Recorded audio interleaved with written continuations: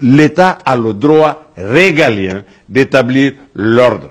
Maintenant, sur l'axe de, de Bambeto, ce n'est plus un maintien d'ordre, c'est une lutte contre le grand banditisme, contre la criminalité. On ne doit plus aller avec des bâtons là-bas.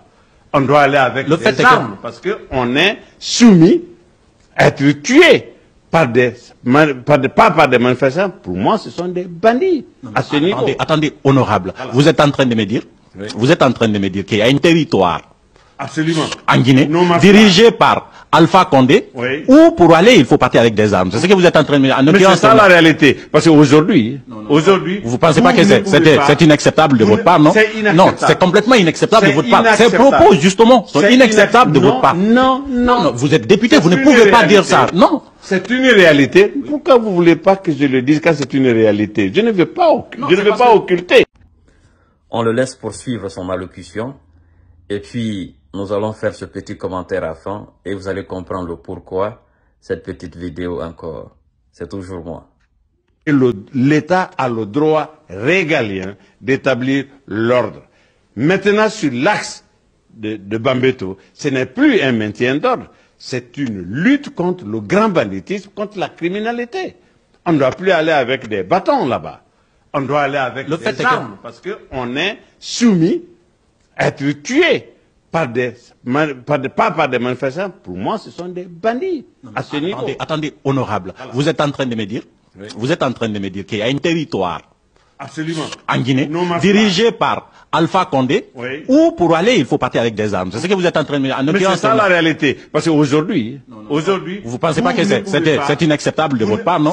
Non, c'est complètement inacceptable de votre part. Ces propos, justement, sont inacceptables de votre part. Non, non, Non, vous êtes député, vous ne pouvez pas dire ça. Non. C'est une réalité. Pourquoi vous voulez pas que je le dise quand c'est une réalité? Je ne veux pas, Non, je ne c'est veux pas que- occulter. Non, c'est qu'on ne comprend pas. Il Et c'est là la deuxième partie de la question. Non. C'est que je ne comprends on va pas. quelque part, quand il y a une portion du territoire, surtout de la capitale, où les citoyens ne peuvent pas circuler librement, quand la police est débordée, il faut autre réquisition. Vous, savez, c'est- ne pouvez pas dia- dia- diaboliser cette partie. Mais c'est- Bambeto c'est- c'est- vous ne c'est pouvez pas diaboliser, c'est pas C'est possible. pire que le diable.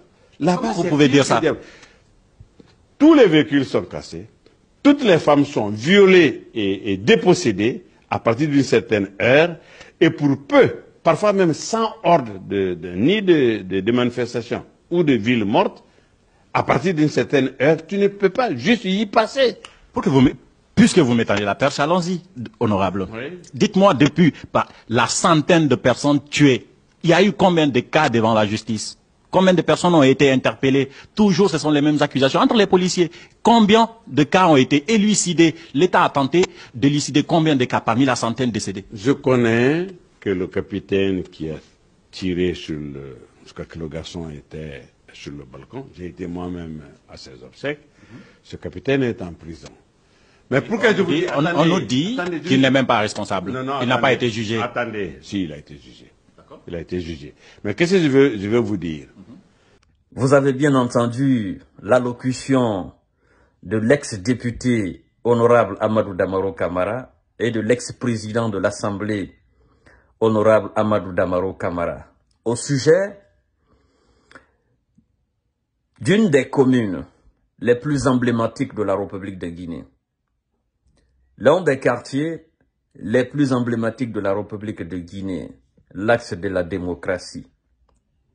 Ce monsieur, autrefois, disait que cette partie ne vivait que des bandits, des loupards, des personnes invivables, et que pour aller là-bas, il fallait effectivement partir avec des armes de guerre, des armes lourdes. Parce que pour lui, dit-il, là, on ne pouvait pas vivre. C'est comme si il n'y avait pas d'hommes et de femmes. C'est comme si, sur cet axe, ne vivaient pas des Guinéens de tous bords. C'est comme si des Malinqués, des Soussous, des Peuls, des Guerzés, des Cognaqués ne vivaient pas sur l'axe. C'est comme si on égorgeait là des êtres humains. C'est comme si là, il y en, a que, il y en avait que des félins.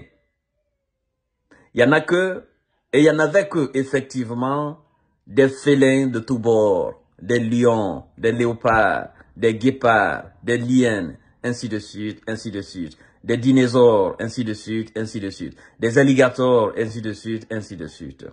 Mais il s'est trompé. Il s'est trompé parce qu'il n'a pas été sage. Ce monsieur, il n'a pas été sage en parlant ainsi. Et il insistait là-dessus d'ailleurs. C'était sa conviction. Pour lui, c'était une vérité. Or, ce n'était pas une vérité. C'était loin d'être une vérité. Au jour du 5 septembre, nous avons vu sur cet axe la manière dont les enfants guinéens sont sortis accueillir le colonel Mamadi Doumbouya. La manière dont ils ont fait leur communion avec le colonel Mamadi Doumbouya. La manière dont ils ont montré leur, leur humanité au colonel Mamadi Doumbouya. La manière dont ils ont fait preuve de sociabilité, de tranquillité et de paix aux yeux du peuple de Guinée et aux yeux, effectivement, de la communauté internationale, comme on en dit souvent en République de Guinée. Ils n'ont demandé que la paix. Aujourd'hui, ce que M. Honorable Amadou Damaro Kamara traitait de bandits, de loubards et de vagabonds, ces gens-là, ils vivent tranquillement aujourd'hui, chez eux, comme ils l'ont toujours vécu. Ces gens ne sont pas à la maison centrale et ne sont pas inquiétés. Ces citoyens nobles de la Guinée, qui demandaient effectivement la démocratie, qui demandaient effectivement qu'on change la constitution guinéenne qui demandait le départ d'Alpha Condé, aujourd'hui, le temps leur a donné raison. C'est pourquoi je ne cesse de citer que comme mal, aucune injustice ne restera impunie par le tribunal de l'histoire. Et aujourd'hui, c'est lui qui traitait les citoyens paisibles de la République de Guinée de bandits, de voleurs, de gangs, de criminels, de louvards. Il est aujourd'hui rattrapé par le tribunal de l'histoire. Il est devant les faits chers frères. C'est pourquoi je vous dis, le pouvoir politique est éphémère. C'est passager. Le pouvoir qui est éternel, c'est le pouvoir de Dieu. Ça va changer en Guinée. En Guinée, ça va changer.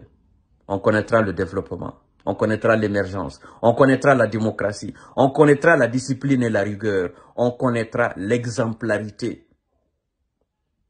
On sera un peuple, une nation réel, véritable, exemplaire.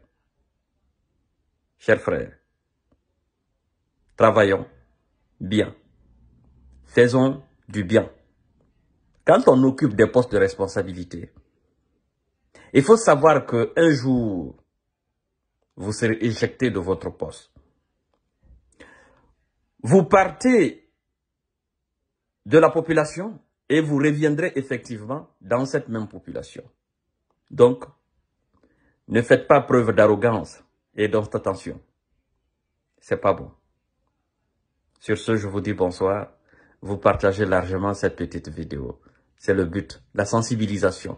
Et dire à ceux qui sont en train aujourd'hui de travailler avec le colonel Mamadi Doumbouya de ne pas faire les choses avec l'arrogance. C'est tout simplement que ça.